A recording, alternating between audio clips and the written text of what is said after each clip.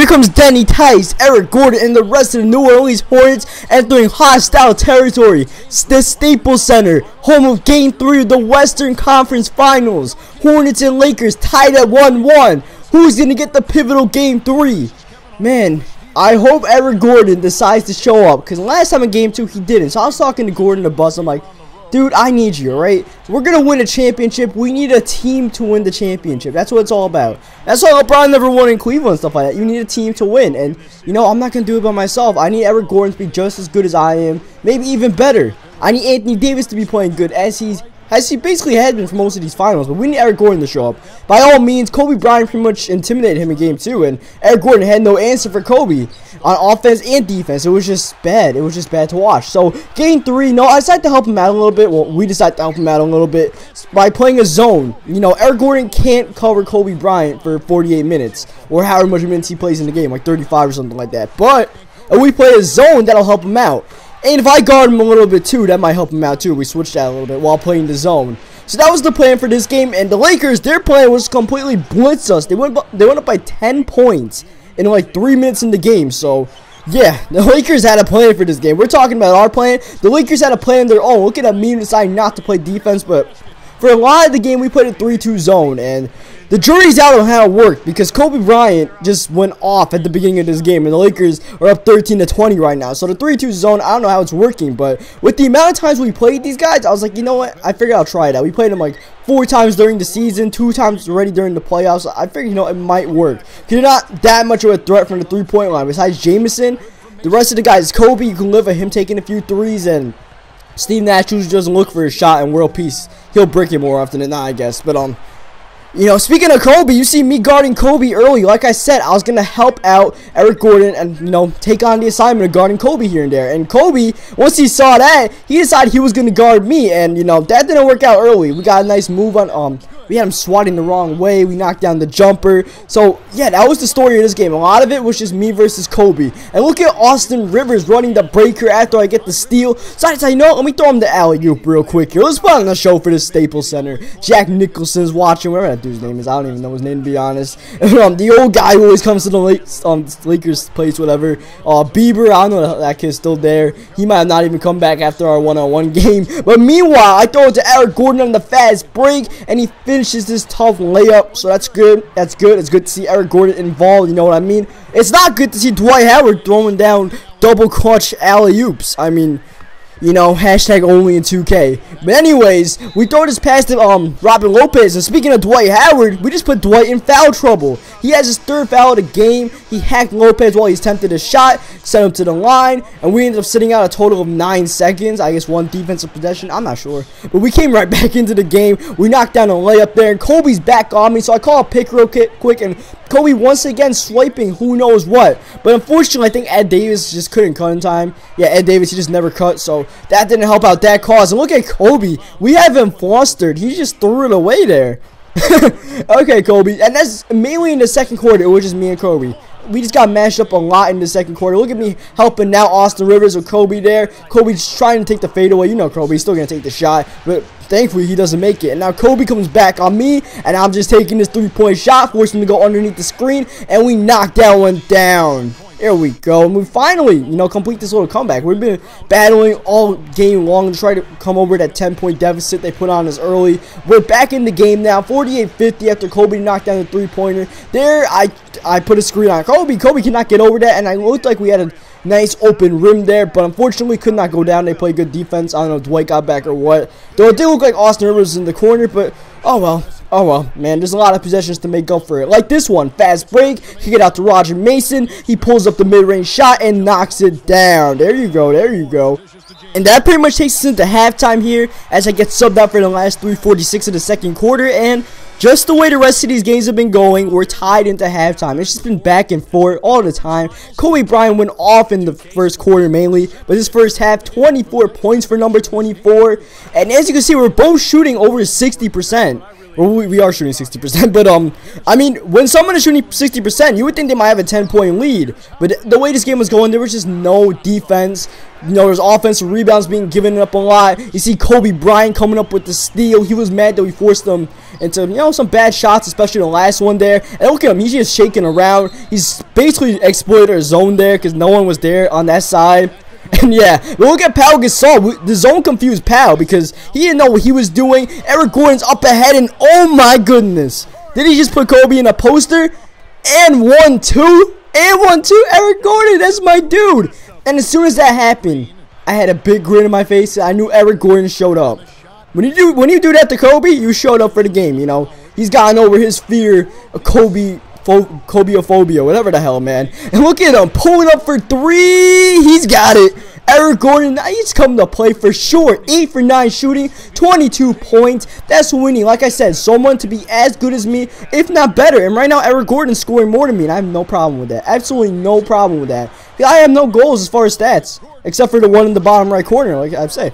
You know, I'm just looking at the scoreboard, who's winning and who's losing. And right now, we're winning. We're not winning by much. It's still a close game, but at least I know I have, you know, my sidekick here for the rest of the game. So that's all good. Eric Gordon's on fire. And look at that. Speaking of, you know, I could easily take this layup. I could take it over Nash any day. But I decided, let me feed the hot hand. Let me keep Eric Gordon involved. So I give him a few free throws. Why not, you know? That's what you gotta do as a point guard sometimes. That's what you gotta do.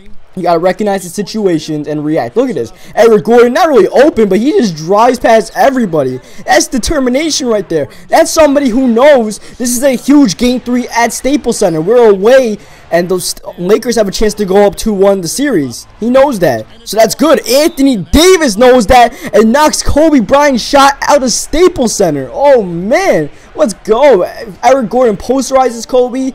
Anthony Davis swats Kobe. I'm knocking shots down over Kobe and playing some good defense. And that's what you got to do. It's all about locking down number 24. Number 12 will do some really stupid stuff sometimes. You just gotta live with that. But number 24 is the guy keying on, and you can just fluster him a little bit. You know, you're all right. And that's what we're trying to do. As Aminu throws it down, we have five point lead here, though. You know that doesn't really matter. Scoreboard doesn't matter. It's just gonna be a close game. That's the way it's been all series long. It's just gonna be another one of those close games. Here, no one's guarding Anthony Davis up ahead. I see that, so I just throw it to him, and he throws it down. So that's all good. You know, who's there? Someone tried. World Peace tried to get there the last second. Kobe almost got in the poster. And look at World Peace. Like I said, he's not been a great three-point shooter in this series, but offensive rebounding killing us. And as to we're going to go to the fourth quarter. Wait, hold on. Before we go to the fourth quarter, where's Nash? Who knows? Who cares? I don't know what Nash is looking at, but I know what he's looking at now. Denny knocking down a three-point shot to give the Hornets the lead. Kobe trying to do some heroics, but he doesn't realize we're playing the zone. Anthony Davis gets the swat. Then Kobe tries to get back, but he can't. He can't. You can't guard two people. He tries to pick up Denny. Denny picks up Eric. Eric takes off, and Eric throws it down. Three-point Hornet lead as we get into the fourth quarter. We tip a Kobe Bryant pass. Almost a turnover. Instead, Jamison tries to knock down this shot, but Dwight gets the offensive rebound and one. And then Dwight knocks down the free throw too, oddly enough. So I'm coming back with the mid-range shot wide open, but I don't get to go. But look at Ed Davis. Another offense rebound, this time an R-end, and another and one opportunity. And Ed Davis knocks down his free throw, gives Dwight his fourth foul of the game. But Dwight gets another offensive rebound. Is anybody going to get a defensive rebound in this fourth quarter? Meanwhile, even though I missed this shot, I'm still going to take it the next time because Damn it, it's still wide open, and that's still my range, so I'm still knocking that down. Look at Kobe on me,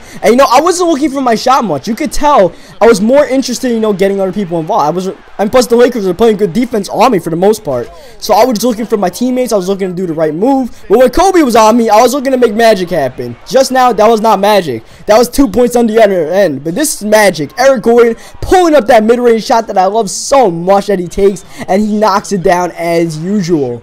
And now, you know, it's just back and forth, back and forth. No defense, like I said at halftime. No defense that hasn't changed. Unfortunately, Ed Davis can't bring the offense. He's no Eric Gordon. He's not going to make that shot. And look at Roger Mason in the corner. God trying to give us the lead here, but he can't knock that down. On the fast break, Kobe Bryant has options left and right, but Kobe sees ball and basket pretty much. He didn't get it because he didn't see me, and he tried to do a little float, cute little floater, but that did not go down. But they get the offensive rebound. Speaking of rebounding, Denny gets his fourth rebound the game, starting the fast break. Take it out to Mason, who pulls up the mid-range and knocks it down. Back to a tie game, but look at Kobe playing a little give and go with Dwight. To Dwight, back to Kobe, over Mason, knocks it down. At this point, I'm like, wow, the Lakers are up by two with a little over seven minutes left in the game. We gotta win this game. We gotta win this game. Come on, guys. We gotta win this game. Kobe knows that too. Kobe's telling his guys, I got you guys. Don't worry. I got this team. And you know, that's not me. I'm not gonna be like, okay, I got this team. I'm gonna be like, alright guys, let's get let's get going. Let's get going. The crowd is chanting defense, but sometimes you just gotta be the catalyst and knock down big time shots like that and give your team the lead. Jamison wanted nothing of me, and right back in the other end. I'll play some defense on Jamison. Jamison might not want anything to do with me, and then on the other end, we're just making Jamison look stupid. Beautifully executed fast break. I got him looking, and then I threw it to Mason. Beautiful pass, easy layup for Mason. Five point lead, and look at Kobe. He is mad. He is mad. He has 43 points, but that doesn't even matter right now. We just forced him into a backcourt violation. He slammed the ball on the other end. Denny Tice, he's got it. Oh man, 12-2 run out of nowhere for the Hornets. And look at Denny. He's not even done yet. Wide open layup, but he's feeling that jump shot. Yo, wipe the dirt off his shoulder real quick, Denny. 35 points. He is taking over this fourth quarter for the Hornets. And now I'm still going. Now I'm taking the layup. Tough finish over Gasol. The Twin Towers inside there, but who cares, Damon? Who cares? 10-point Hornet lead out of nowhere. Now we got to protect that lead. Easier said than done because they still got Kobe Bean Bryant on the other end. But who's guarding Aminu? Nobody? All right, I'll just give it to him and he's going to finish that. Yes, sir. But Kobe makes a nice play here. He busts the zone. You know, we double teamed them and he found Jamison wide open and Jamison was knocking down that shot. So, you know, he continued that stat line. He was continuing knocking down his shots and Dwight was continuing to get offensive rebounds. And just like that, it's a five-point game. Lakers back in this game. Just when we thought we could put the dagger, they're back in it and I can't make this shot. They get the rebound. Powell trying to start the fast break out to Nash. Don't really got much until he just throws it to Kobe with no shits given. Pulls up and knocks it down. The Lakers are coming back, trying to get the lead in this series. Who can get it? Denny Tice wants it. Who knows who can get it? But Denny wants it. Five point Hornet lead. Under two minutes left. Queer out for Denny. Calling a pick for Anthony Davis because we got no time left in the shot clock. Just got to throw it up and knock it down. Hope he kept up with all that. Hope he kept up with all that. And now it's a seven-point lead. Kobe's dancing all around, but he turns over the ball. Eric Gordon with a big-time steal. Now Denny in the corner with Kobe on him. Kobe needs help. Calls for help from Dwight, but that's not going to do it. That's not going to do it. I'm just going to give it to Ed Davis and let him throw that down. Nine-point Hornet lead. Kobe just trying to do whatever he can, but it's not enough. And this might as well be the dagger here. Throwing it down for Eric Gordon, who gets fouled. And that's going to give us an 11 point lead. And that's going to pretty much give us the win. And oh man, oh man. Pretty much the biggest game of Denny's career pretty much the biggest game. And one more time with me, we give it to Aminu and he knocks it down. And we go to the bench for the rest of the game so we can celebrate this victory. Yeah, just, you know, you got big time players got to show up. And Denny Tyson Eric Gordon are big time players. And Anthony Davis. And we all showed up. So I hope you guys like this game. You know, like the video if you like it. Subscribe to keep up with the series. And I'll catch you guys next time for Game 4 of the Western Conference Finals as we take you to the press conference. Your team still holds the advantage up 2-1 going into game four. Is there a sense of confidence in the locker room right now, or is the team beginning to feel some of the pressure that goes along with playing in the postseason? Uh, I think we're still pretty confident. We've been taking care of business so far, and it's not like we expect to come out of every round with a sweep. We all know that it's much better to be up 2-1 than down 2-1. That doesn't mean that there isn't any pressure, though. But we're all professionals, and I think we know how to handle it without letting it affect our play.